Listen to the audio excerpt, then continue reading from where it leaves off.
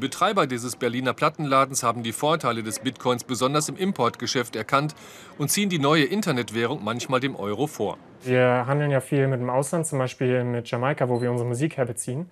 Und ähm, das kostet uns halt regelmäßig sehr hohe Bank- und Transaktionskosten. Und mit Bitcoin werden wir damit wohl einen Großteil einsparen können. Bis heute ist der Bitcoin eine Erfolgsgeschichte.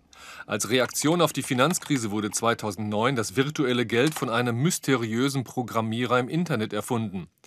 Der Kurs des Bitcoin dümpelte über drei Jahre bei sehr geringen Werten. Anfang 2013 bei etwa 10 Euro, heute ganz aktuell ist ein Bitcoin 585 Euro wert. Jede Münze existiert nur elektronisch in Form einer digitalen Zeichenkette. Vorteil, die Währung ist auf 21 Millionen Bitcoins beschränkt und angeblich fälschungssicher. Bitcoins imitieren ein wenig die Eigenschaft des Goldes als Währung, obwohl Bitcoins ja virtuell sind und nicht einmal anfassbar sind. Aber die Eigenschaft, die hier am wichtigsten ist, ist die Knappheit. Geld behält seinen Wert dann, wenn es knapp ist gegenüber dem, was mit Geld bezahlt werden soll. Über ein frei zugängliches Softwareprogramm kann man Bitcoins mit Euros oder Dollar tauschen. In Schweden und wie hier in Kanada ist es auch schon möglich, Geld vom eigenen Bitcoin-Konto abzuheben.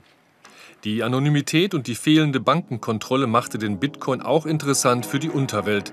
Im Internetportal Silk Road, mittlerweile vom FBI gesprengt, konnte man Drogen und kriminelle Dienstleistungen kaufen und mit Bitcoin bezahlen. Aber der Kurs stieg weiter. Ende offen?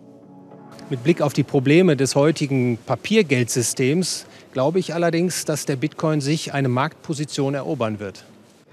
In dieser Berliner Kneipe hat sich der Bitcoin bei einigen Gästen durchgesetzt. Aber solange die Staaten ihre Währungen stabil halten, bleibt die Internetwährung nur eine Alternative in Finanznischen.